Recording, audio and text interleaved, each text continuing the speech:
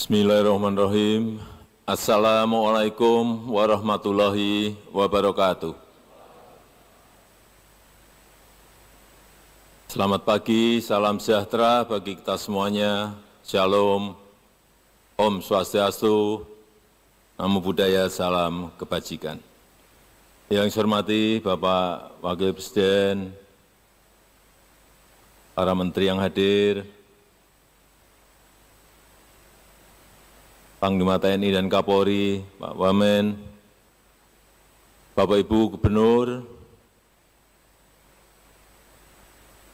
yang saya hormati Bupati dan Wali Kota yang hadir,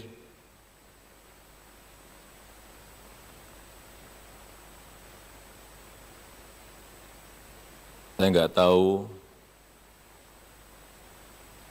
Bapak Ibu ke sini tadi, saya tadi bertanya banyak yang sudah tiba di Balikpapan kemarin, sehari sebelumnya juga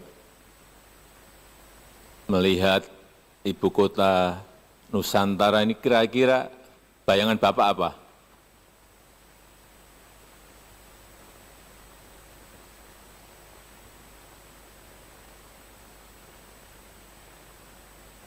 Selamat datang di ibu kota Nusantara.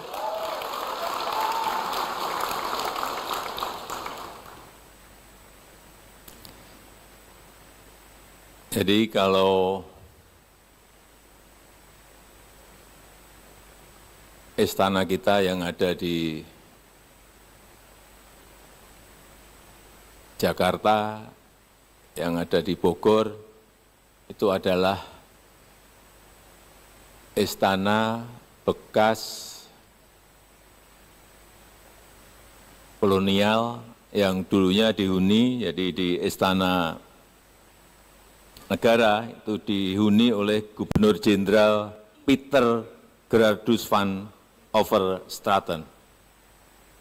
Kemudian Istana Merdeka, saya juga kaget ternyata Istana Negara dan Istana Merdeka berbeda dihuni oleh Gubernur Jenderal Johan Willem van Lansbach.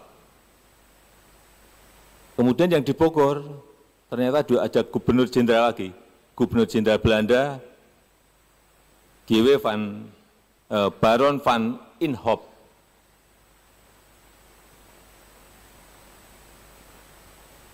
Saya hanya ingin menyampaikan bahwa itu sekali lagi Belanda.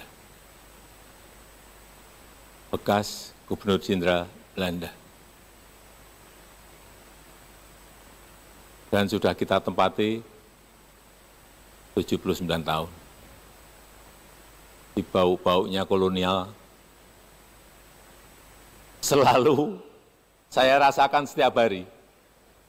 Dibayang-bayangi